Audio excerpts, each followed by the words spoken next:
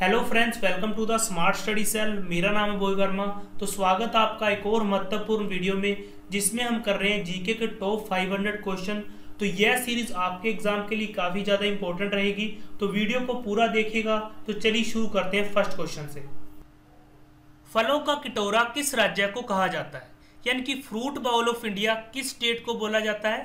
तो यह बोला जाता है हिमाचल प्रदेश को, जिसे क्या देवभूमि के नाम से भी जाना जाता है। एंड हिमाचल प्रदेश में एक सिटी है कोटगढ़, जिसे क्या भारत का सेब का कटोरा बोला जाता है। नेक्स्ट क्वेश्चन रोटी किस गैस की वजह से फूलती है? तो जब हम आटा गूंथते हैं तो उसमें क्या हवा भर जाती है, यानी कि कार्बन डाइऑक्साइड भर जाती है। तो जैसे ही रोटी को पकाया जाता है तो रोटी के गर्म होने के साथ ही कार्बन डाइऑक्साइड रोटी में से निकलने की कोशिश करती है, जिसकी वजह से रोटी क्या फूल जाती है। यानी कि कार्बन डाइऑक्साइड की वजह से रोटी फूलती है। नेक्स्ट क्वेश्चन तो यह क्वेश्चन आपके एग्ज़ाम के लिए काफ़ी ज़्यादा इंपॉर्टेंट रहेगा कि किस देश को संयुक्त राष्ट्र सुरक्षा परिषद के गैर स्थायी सदस्य के रूप में चुना गया है? और अगस्त 2021 के महीने के लिए वह इसके अध्यक्ष के रूप में भी काम करेगा। यानी कि कौन सा देश यूनाइटेड नेशन सिक्योरिटी काउंसिल के लिए नॉन परमानेंट मेंबर के तौर पर इलेक्ट किया गया है? एंड ये अगस्त 2021 के लिए प्रेसिडेंट के तौर पे भी सर्व करेगा। तो ये है हमारा प्यारा भारत, यानी कि option number B next question sodium धातु को डैश में संग्रहित किया जाता है, यानी कि sodium metal is stored in तो दो मेटल एक तो पोटाशियम एंड एक सोडियम ये हवा के संपर्क में आते ही, क्या ऑक्सीकरण कर लेते हैं, जिसकी वजह से इनमें क्या आग लग जाती है. इसीलिए इन मेटल्स को हमेशा कैरोसिन ऑयल यानी कि मिट्टी के तेल में रखा जाता है. नेक्स्ट क्वेश्चन किसको औरंगज़ेब ने अपने पूरे जीवन के लिए कैद कर लिया था? यानी कि who was imprison for the rest of his life by Aurangzeb? तो उन्नीस सौ अठावन में औरंगज़ेब ने अपने पिता शाहजहां को पूरे जीवन के लिए कैद कर लिया था एंड कहाँ पर किया था? यह किया था आगरा के किले पे। एंड यहीं पर इनकी क्या उन्नीस सौ छियासठ में मौत हो गई थी? नेक्स्ट क्वेश्चन गणतत्व की ऐसा इकाई क्या है? यानी कि what is the SI unit of density तो आपको पता है गणतत्व क्या होता है? द्रव्यमान डिवाइड बाय आयतन। एंड द्रव्यमान का यूनिट आपको पता है किलोग्राम होता है एंड आयतन का होता है मीटर क्यूब एंड ये मीटर क्यूब ऊपर जाएगा तो ये आ जाएगा किलोग्राम एम की पावर माइनस थ्री यानी कि ऑप्शन नंबर ए क्या आंसर हो जाएगा। एंड इसमें जो न्यूटन पर मीटर स्केयर है, ये ऐसा इकाई है पृष्ठ तनाव की, यानी कि सरफेस टेंशन की। एंड कैलविन तो आपको पता ही है तापमान की है। एंड अम्पेयर किसकी है? ये विद्युत धारा की। यानी कि करंट की। नेक्स्ट क्वेश्चन एक से दस दिसंबर 2021 तक एशिया युवा पैरा खेलों के चौथे संस्करण की मेजबानी कौन सा देश करेगा? यानी कि which country will host the fourth edition of Asian youth para games from December one to ten two thousand twenty one तो एशियन यूथ पैरा गेम्स में 20 से कम उम्र के 800 खिलाड़ी पार्टिसिपेट करेंगे एंड इसकी मेजबानी करेगा बहरीन, जिसकी कैपिटल है मनामा एंड बहरीन की मुद्रा है दिनार। बहरीन के करंट प्रधानमंत्री हैं Khalifa bin Salman Al Khalifa. Khalifa bin Salman Al Khalifa. Next question. लोहे को कठोर और मज़बूत बनाने के लिए निम्नलिखित में से लोहे में क्या मिलाया जाता है?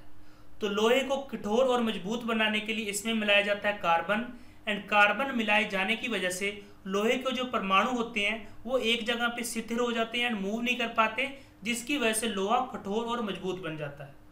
नेक्स्ट क्वेश्चन निम्नलिखित में से भारत के महान्यायवादी की नियुक्ति कौन करता है? यानी कि who among the following appoints the attorney general of India तो अटोर्नी जनरल ऑफ़ इंडिया जिसको क्या आर्टिकल 76 के तहत अपॉइंट्स किया जाता है तो इनको अपॉइंट करते हैं भारत के राष्ट्रपति। इसके साथ ही chief election commissioner and CAG को भी नियुक्त करते हैं। एंड हमारे करंट अटोर्नी जनरल कौन है? ये है के के वेणुगोपाल। नेक्स्ट क्वेश्चन एक स्वतंत्र रूप से लटका हुआ चुंबक हमेशा किस दिशा में संरेखित होता है? यानी कि freely suspended magnet always align in the dash direction तो यह अलाइंड होता है उत्तर और दक्षिण दिशा में। तो यह किस वजह से होता है कि आपको पता है कि धरती क्या एज ए चुंबक काम करती है? तो इस धरती का जो उत्तर वाली साइड होती है, इसको ट्रैक्ट करती है मैग्नेट की दक्षिण वाली साइड एंड इस धरती की जो दक्षिण वाली साइड है, इसको अट्रैक्ट करेगी चुंबक की उत्तर वाली साइड, जिसकी वजह से चुंबक क्या है उत्तर दक्षिण दिशा में सरेखित हो जाएगा। नेक्स्ट क्वेश्चन वायुमंडल की सबसे निचली परत कौन सी है? यानी कि the lowest layer of atmosphere is known as तो सबसे लोएस्ट लेयर होती है ट्रोपोस्फेयर यानी कि शोभ मंडल एंड ये क्या सबसे घनी लेयर होती है? एंड इसमें जो स्टेटोस्फियर है, इसमें क्या ओजोन लेयर पाई जाती है? इसी में क्या एरोप्लेन फ्लाई करते हैं? एंड इसमें जो आयन मंडल है, इसमें सैटेलाइट कम्युनिकेशन होती है। नेक्स्ट क्वेश्चन डैश शीशा का ऐसक है।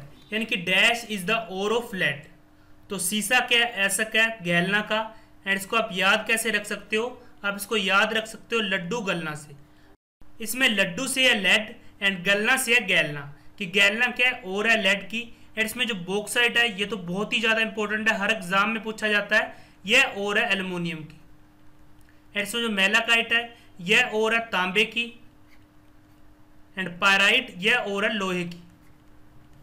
नेक्स्ट क्वेश्चन निम्नलिखित में से कौन कोविड नाइन्टीन महामारी से लड़ने के लिए देश के सामूहिक प्रयास में योगदान करने के लिए प्रतिदिन पच्चीस हज़ार एन नाइन्टी फाइव और N ninety nine grade face mask का उत्पादन करने जा रहा है।